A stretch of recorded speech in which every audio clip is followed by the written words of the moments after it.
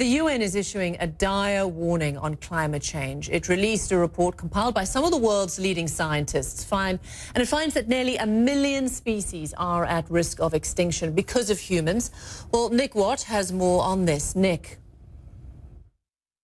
Robin, this 1,800 page report is designed to be a wake up call. You know, since just the early 1990s, so a tiny sliver of human history, the footprint of our urban sprawl has more than doubled, and apparently that is just not sustainable. So, after years of research and six days meeting in Paris, experts have put out this report, and here are some of the horrific headlines. Around 1 million species now face extinction, many within decades, because of humans. Three quarters of all the land on Earth has been significantly altered in just the past 50 years by humans. Plastic pollution at sea is up tenfold since 1980. Our fault.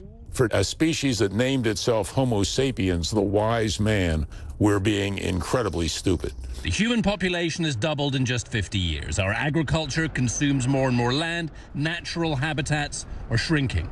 We continue to pollute, the climate continues to warm, and natural ecosystems crumble at an accelerating rate. 145 leading experts from 50 countries spent three years compiling this gargantuan report, reaching frightening conclusions. The other organisms of the planet are our life support systems. You don't have to worry about them if you don't care about eating, if you don't care about breathing, uh, if you don't care about having fresh water and so on. Then you can just forget about it and die. The authors hope this work will land like last year's bombshell UN global warming report, which galvanized the green movement. And spurred politicians towards more urgent action.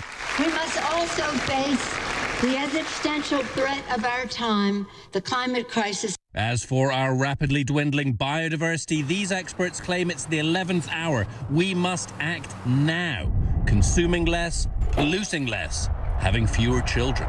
I'm very, very optimistic about what we could do in theory. I'm very pessimistic about what we will do. One eighth of all animal and plant species on Earth now at risk of extinction because of us. And as this report states, nature is essential for human existence.